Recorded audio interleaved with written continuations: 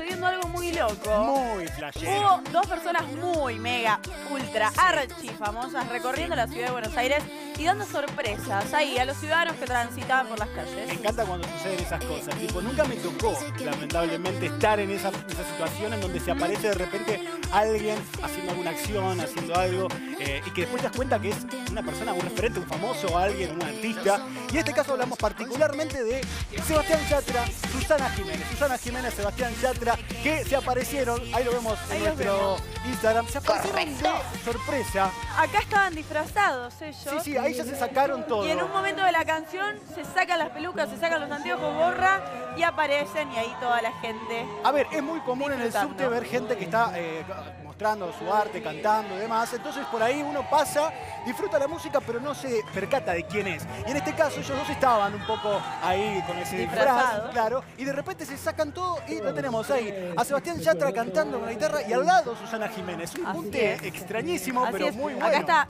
hay como un cerco de policías y seguridad. Yo creo que un poco eso debe haber alertado a la gente, ¿no? Porque ser, un cantante ser. que está ahí, un cantante urbano que está ahí, no, por ahí no. Esto sucedió en la línea H de subte. eh, ahí es Y donde... yo me la tomo, no puede ser que no me los Justo, ¿no haya estuviste cruzado. ¿En qué estaban? ¿En hospitales? Sí, a hospitales, mira.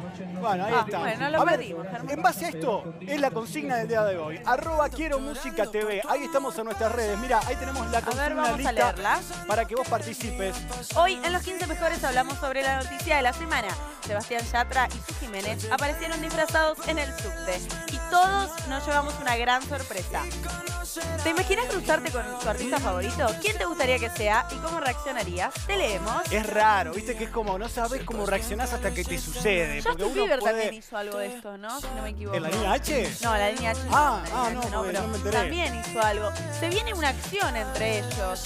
Bueno, Digo, esto anuncia Después vamos a contar un poquito más de Vamos qué se ver. trata. Pero eh, pensá, pensá cómo reaccionarías. O quizás te pasó, quizás lo viviste en algún momento que estabas ahí caminando y apareció alguien, tu artista favorito. Contanos también eso, queremos saber. ¿Cuál es tu reacción? ¿Cuál es tu reacción? Bueno, viernes, mejor de la semana.